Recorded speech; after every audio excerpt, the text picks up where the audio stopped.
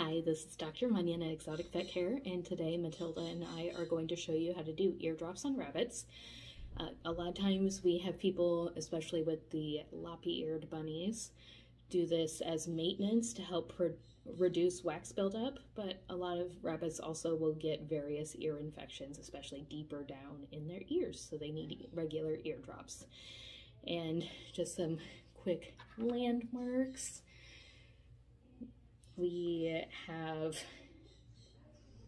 our ear here. And the area that we're aiming at to put the drops in is, I know you hate it, this area up towards the front. We don't want to go towards the back because there's kind of a little flap in there. And it's going to keep the medication in the outer ear rather than putting it in deeper.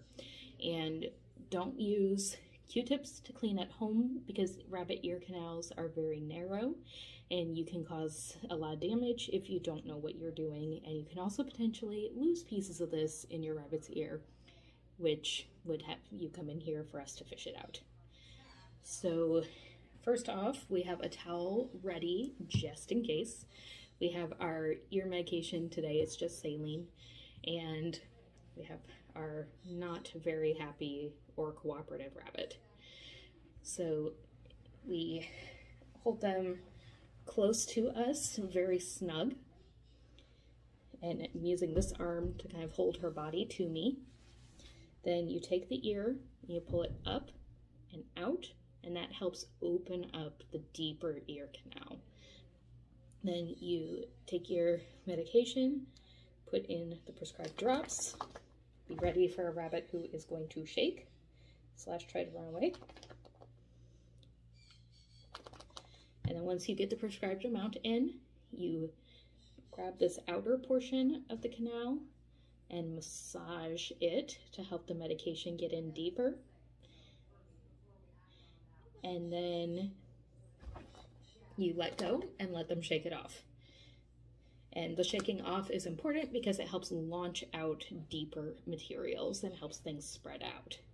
So we're going to do that one more time on the other ear with her burritoed and as a close-up.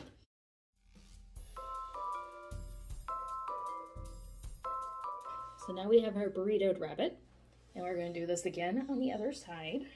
Bring the camera a little closer to show you again. You might get splashed because we're in the splash zone. So we have our restrained rabbit, still holding her close to us. Take the ear up and out. Take our ear medication and drip it in towards the front of the ear. So that's where the opening to the canal is. And then we hold the ear from the outside and massage the medication in massage, massage, massage. we let him shake it off. And she is all done, thoroughly annoyed at us. But all her ear medications are done, and you can do it too.